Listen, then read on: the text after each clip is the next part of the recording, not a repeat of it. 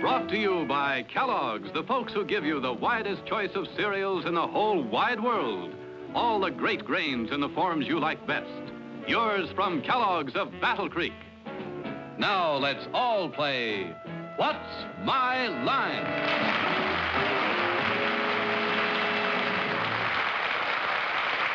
And now let's meet our award-winning What's My Line panel.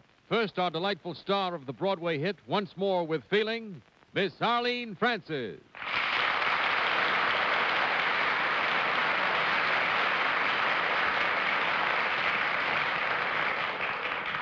And now the host of the Zane Grey Theater, every Thursday night on this network, the husband of the beautiful June Allyson, and a charming man no matter what the capacity, Mr. Dick Powell.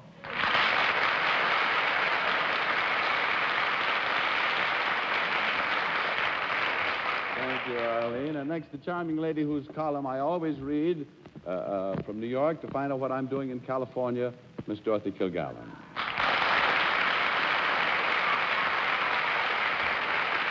Thank you, Dick.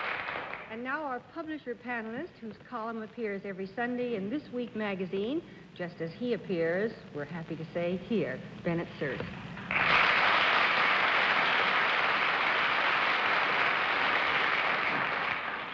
Here's a man who knows practically every word in the dictionary, and what's more, uses them on this program, our debonair panel moderator, John Charles Daly.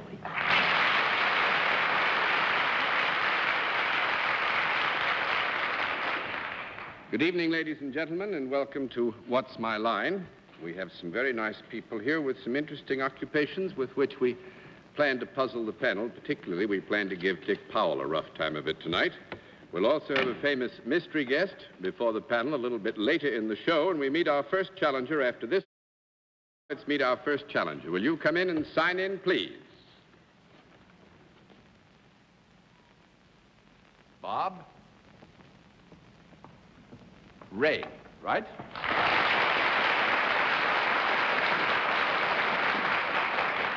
Mr. Ray, where are you from? The state of Washington. State of Washington. Well, you've come a long way, and I know you must be tired, so let you and I go over and sit down. But you say hello to the panel first.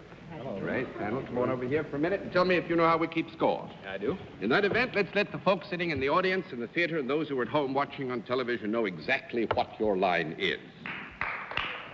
All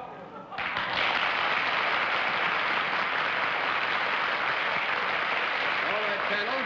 We will tell you that Mr. Ray is salaried, and let's begin the general questioning with uh, Dorothy Kilgallen.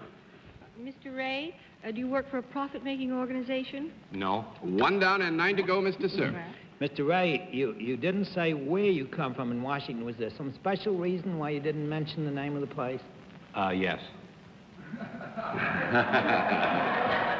Is the part of Washington you come from or where you work along the seaboard? No. Two down and eight to go, Miss Francis.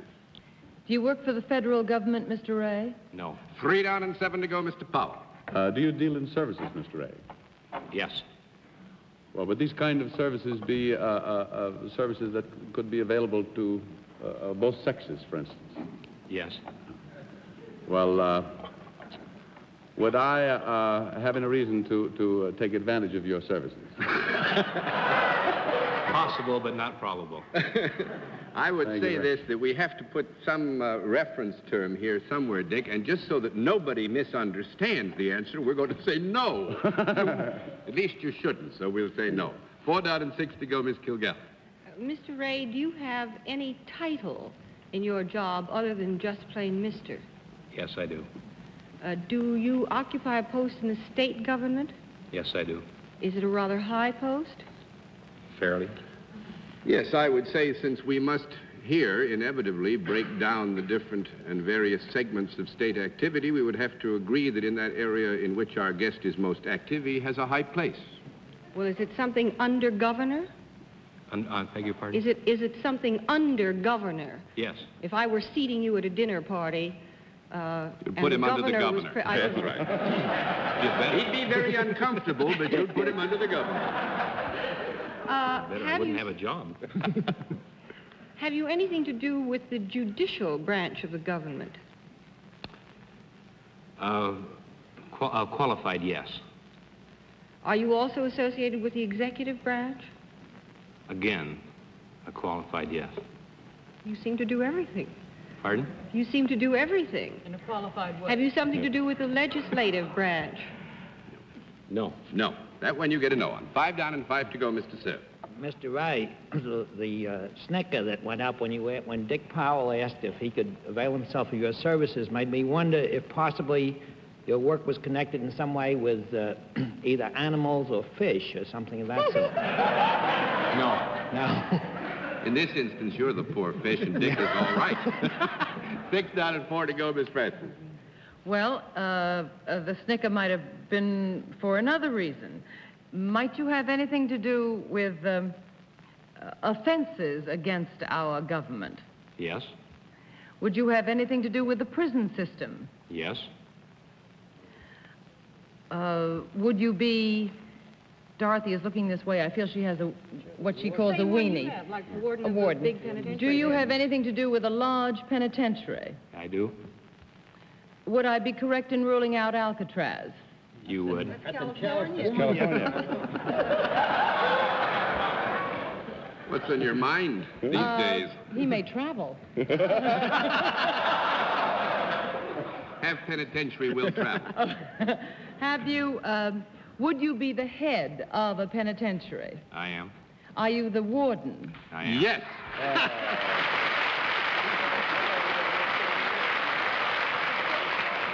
Dick Powell, just the picture of you reposing in the Washington State Penitentiary, which is a maximum security prison, and this is the youngest warden of a maximum security prison in the United States, saddened my heart, so I gave you a no. Oh. Where is it? At Walla Walla. Walla Walla. Oh, Walla Walla. It's not an Alcatraz, Alcatraz. No. Actually, the interesting thing about uh, Mr. Ray is he's 37 years old, is a sociologist, and has spent a good deal of his life preparing himself for what is a, a very responsible job. He's probably the oldest boy there. Well, Warden Ray, thank you for being our guest. We thoroughly enjoyed having you, sir, and hope you had a nice time.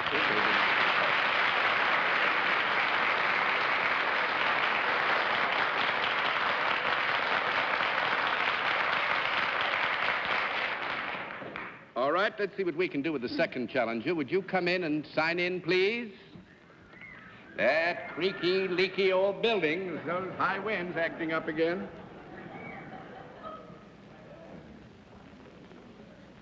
Uh, I beg your pardon. what is this one? Qualset. Qualset? Dixie Qualset? That's Is that right? How do you do it?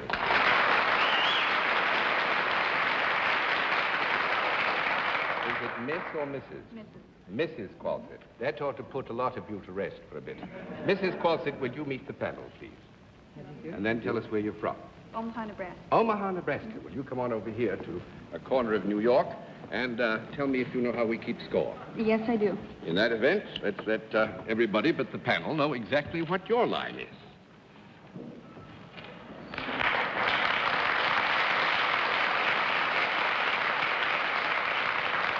Uh, let me see. We'll tell you that Mrs. Qualset is salaried, and I think we should begin the general questioning here with uh, Bennett Cerf.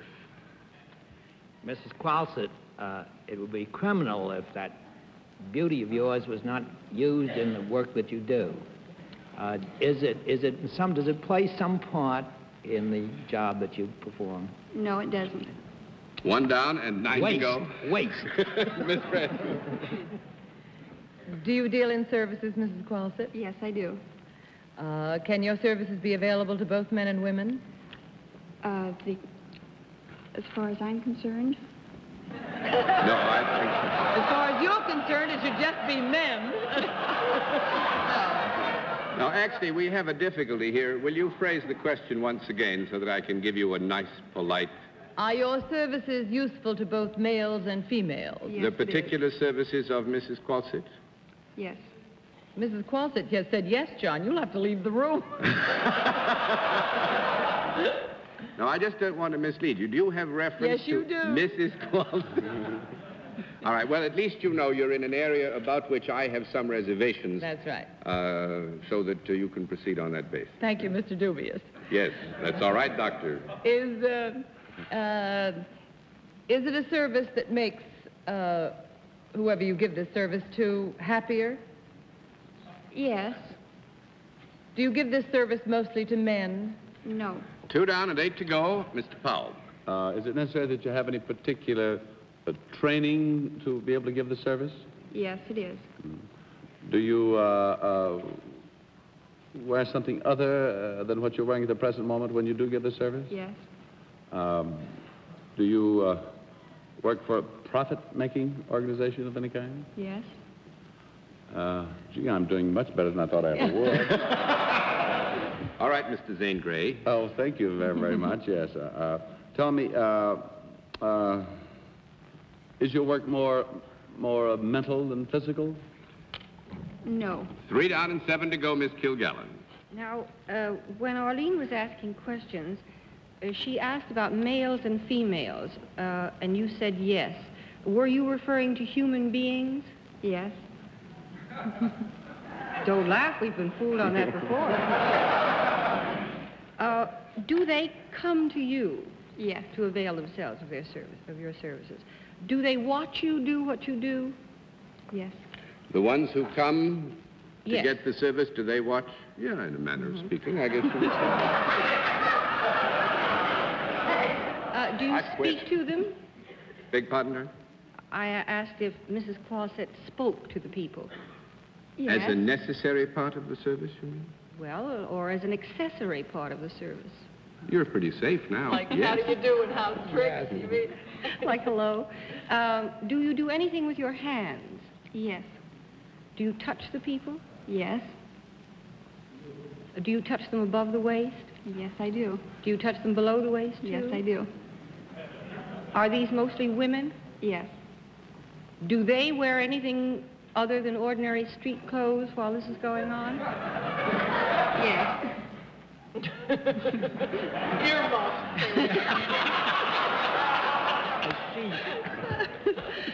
Do you work indoors? Yes. You're from Omaha.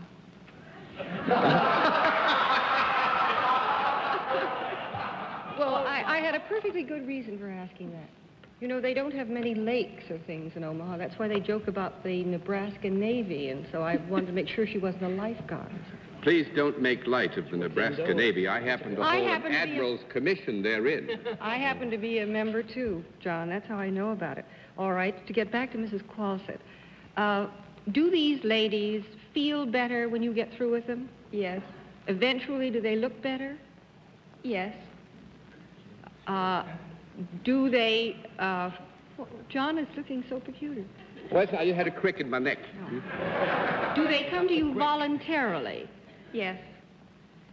Do they come to you for beautification or reducing or anything like that?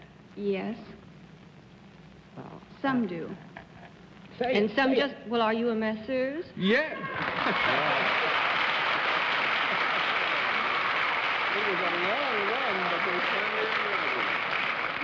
Very good. That, that was a very smart panel. Congratulations to all of you. I'm sorry, Mrs. Cosser, we didn't do better this way, but you gave them a rough time of it, nevertheless. You know? Thank you. So there. What's the name of the place you operate on? Josephine. Josephine. not And they don't take very many Napoleons for what I would say this. I think you should know that Mrs. Qualset was designated Miss Youth Fitness of the USA by uh, Shane McCarthy last month. That's right. And Mr. McCarthy is uh, the uh, director of the President's Council on Physical Fitness. He knows what he's talking about. And he knows what he's talking about. Mrs. Qualset, thanks for being our guest. It was wonderful to have you with us. You've taken my time.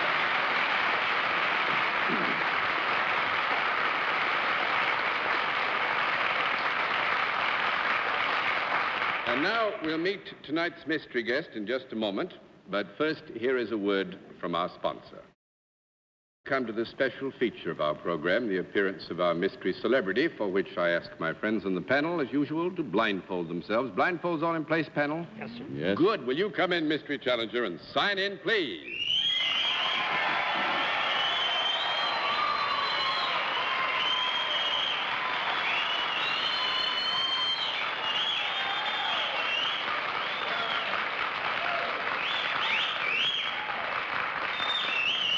All right, panel, you know, in the case of our mystery guest, we go to a different form of questioning. You'll ask one question at a time, in turn, moving clockwise. And let's begin with uh, Arlene Francis.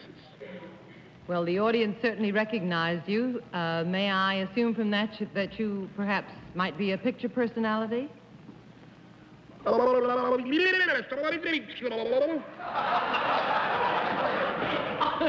It's Shep Fields and his bubbling rhythm review. This is the Rippler. Mr. Powell? He keeps on gargling. He'll get rid of that sore throat. uh, are, are you in, in, in, the, in the city here to publicize any particular picture?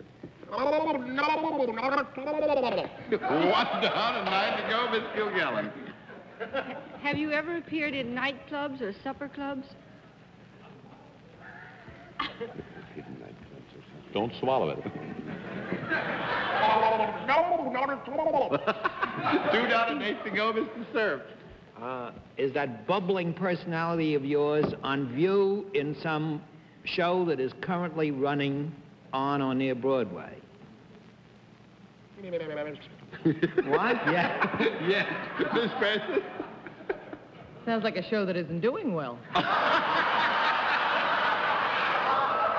is it uh, is it a comedy? Mr. Powell?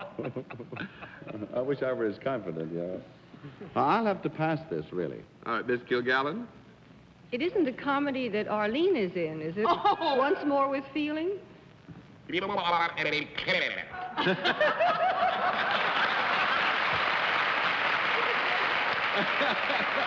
Who is it, Dorothy? Joseph Cotten. Joseph Cotten is right. Let me give you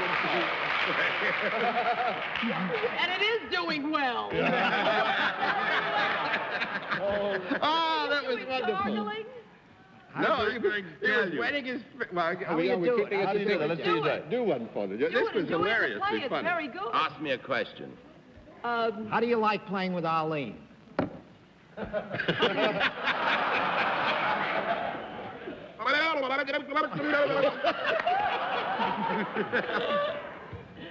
Of course, nobody be able to sit in this place for a week till we get it dried out, but otherwise... oh, that was great fun, Joe. That's Thank much, you. That's as much fun as, as um, your show is. There. No, our show Once is more more with fun. feeling. Once feel. Well, it's the kind of good laughter that uh, we've had here tonight that's in the show that makes it, I think, so very attractive. And Miss Arlene, you were wonderful. oh, I regret that remark. and why you made it so low when I said, is it a comedy? I said, of course. But you said it so timidly. I didn't mean to. I was, that was part of my disguise. I hope. I may say it's the only timid gesture you've made in many a moon, Joe. Uh-huh. And now, Mr. Cotten, you have the floor. thank you, Joe. Wonderful to have you.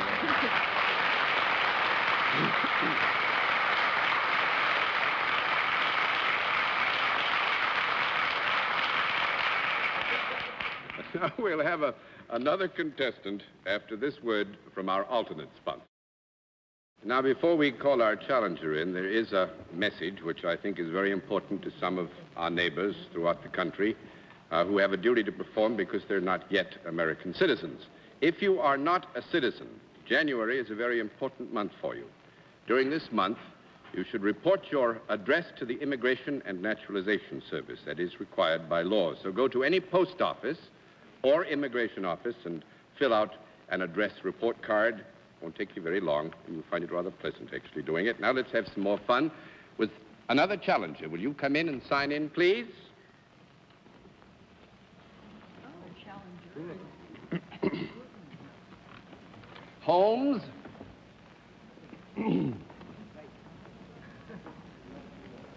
and Watson.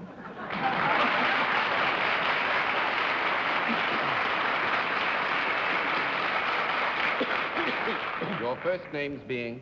Tom. Tom Tom. Tom. This is Holmes and Watson Tom Tom. And where are Holmes and Watson Tom Tom from? Miami. Miami. It's very nice to have you up here. You both look as though you've enjoyed yourselves down in Miami. May I present the panel? Panel, Mr. Holmes and Mr. Watson. Come on over and sit down. Did you really solve all those things? You couldn't have, did you? Sit down. Could have. Let's talk about this for a while. You know how we keep score here? Yes, sir. Good. That's fine. Let's let everybody outside the theater and those few who are here in the audience and hanging off the rafters and sitting under the chairs know exactly what your line is.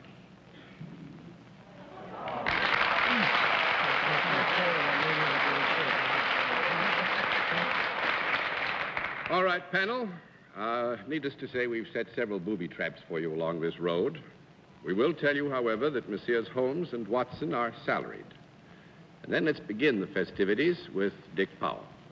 Oh, well, I assume I'm safe in presuming that uh, uh, you're not the original Sherlock and the doctor. Yes. Uh, if you are, I'd be frightened to death here. Do you deal in any any kind of services? Yes. Uh, do you, you must uh, deal in them outside because I've never seen such delicious sunburns in my life. It's been raining in California, you know. Um, Never let you back. they'll never let me back. Tell me, uh, do you do you have to have any special sort of training for the, the Yes. services? We do. Uh, do you do you uh, uh, uh, wear anything other than what you're wearing now in the Yes. in these services? Would these services be uh, uh, available to both sexes, so to speak? Yes, Yes. would. Would I be more apt to uh, to make myself? Uh, It depends. Occasionally. it depends. Actually, Dick, you've asked the question, would I be more apt? You mean here to use their services as a member of the distaff side? Is that your question? Yes, as a man, would That's I be fine. more Thank apt? you very much. No, you wouldn't be more apt to, I don't I think. wouldn't. That's one down and nine to go. Thank you. Miss Kilgallen. Thank you, Dick. If I were in Miami, Mr. Holmes and Mr. Watson, could I avail myself of your services? Sometimes. Sometimes? Sometimes. You wouldn't care to clarify that, would you? Well, the clarification merely intends to tell you that uh, sometimes, if you go to Miami, you might be in such posture as to find yourself, shall we say, uh, willing to accept the services which uh, Messieurs uh, Holmes and Watson have to purvey. Uh, I see. Uh, would I be likely to avail myself of your services if I were in any sort of peculiar position or plight or trouble? Yeah, sure. And would you help to extricate me from that trouble? mm, they'd certainly try. Do you by any chance work for a non-profit making organization? We do. Yes. Do you have anything to do with the law? Yes. Small conference.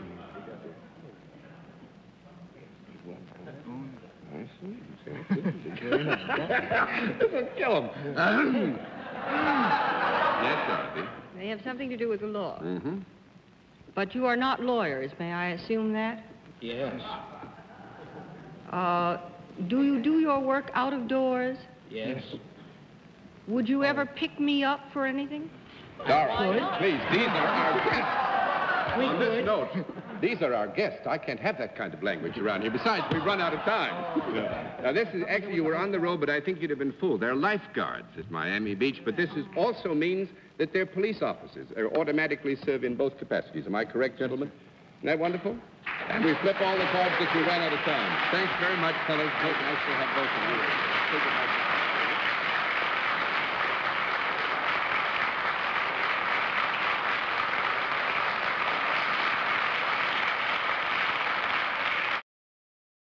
And con- with congratulations to Dick Powell, who's newly come to the panel and who I trust enjoyed himself as we enjoyed having him.